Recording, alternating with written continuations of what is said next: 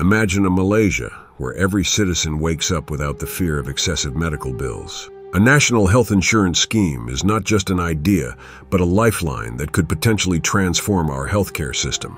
For years, the conversation has swirled around the gaps within our healthcare framework, but concrete action remains elusive. This isn't just about healthcare. It's about our very rights as citizens of this nation. The fundamental question we need to scrutinize is why in 2024 such a basic requirement eludes us. The current healthcare system, while offering substantial benefits, leaves many Malaysians exposed. With private healthcare costs soaring and public hospitals overburdened, families find themselves stuck between a rock and a hard place. Imagine your average Joe, who already struggles with rising living costs grappling with an unexpected medical emergency. This is the glaring gap we aim to fill with national health insurance. To transition into this improved system, however, comes with its challenges. Financing such an extensive program would require recalibrating our national budget, potentially impacting other critical sectors. High-quality medical care for all is achievable, but necessitates evaluating the efficiency and allocation of our resources. Yes, it is about money, but more importantly, it is about prioritizing human lives.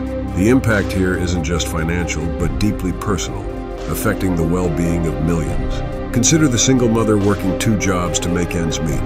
For her, an unforeseen illness means choosing between rent and medical care. A national insurance scheme offers a safety net, ensuring she doesn't fall into financial ruin. This is where the impact hits home. Studies worldwide, from the UK to Japan, show that universal health coverage translates into healthier populations and more stable economies. Simply put, a healthier citizen is a more productive citizen. The gap, however, goes beyond the financial barriers. There is also a tremendous access divide, particularly in rural areas where medical facilities are limited.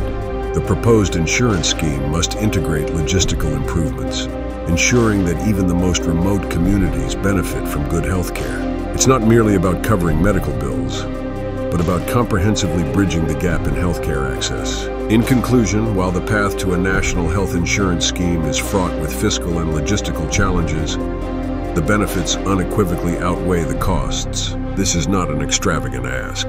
It is an urgent necessity. We owe it to ourselves and future generations to ensure that every Malaysian has the right to quality healthcare without the crushing burden of financial woes. The time for action is now, Let's not wait until another family is pushed to the brink.